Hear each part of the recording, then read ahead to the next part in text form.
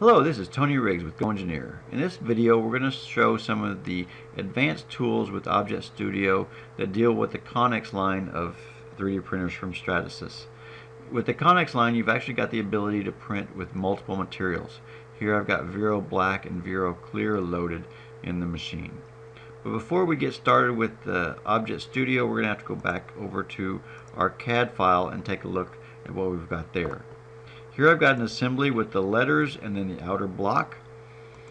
And if we open up the outer block, we can see that I've actually used a cavity feature to subtract the letters from the block itself. Back at the assembly level, if we go over and do a file save as and save this as an STL file, we want to change some of the options here. We want to not save these as one single file, but we want to save these all as separate files. So we want a file for the letters and the outer block. I've already got that done, so we're going to come back over to Objet Studio, and we're going to come in and we're going to insert the STL files. Here we're going to control select the two STL files, and we're going to check this assembly box. That's important for our operation here. And we're going to say insert. It'll actually put them in at the same location. Um, from the assembly level, we're going to go over and change those both to glossy.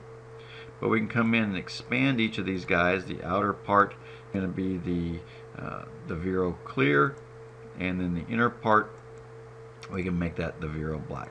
We can see over in the feature manager tree here, we can see the, the color for each of those different materials. Now we probably don't want to print this in this orientation, uh, so I can come over and from this drop down choose to select a plane. Now what I'm going to do is I'm going to hold down the middle mouse button and the Alt key and that lets me rotate around. I can pick this bottom face and say I want that to be aligned to the bottom. Just to make sure I've got everything set right, I can come over and do a view, maybe wireframe, and see the letters, you know, poking down like this would, you know, sit on your desk or something. Go back over to shaded mode. Now we saw the Alt key in the middle mouse button. The Shift key in the middle mouse button rotates us kind of about the plane of the of the platform. If we come back over to selecting the group, uh, we definitely want to lock this orientation down because if we go over to the tray settings and start our placement, it's going to change our orientation. So if we check the placement and then validate, on my model I'm getting an unclosed contours are detected. Uh, that should be okay with this one because I know that the STL files are okay.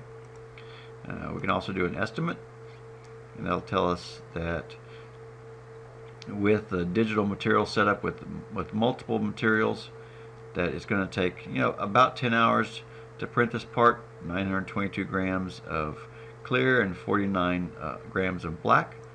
And once we're ready we can hit the build uh, icon and send this to our Objet 3D printer.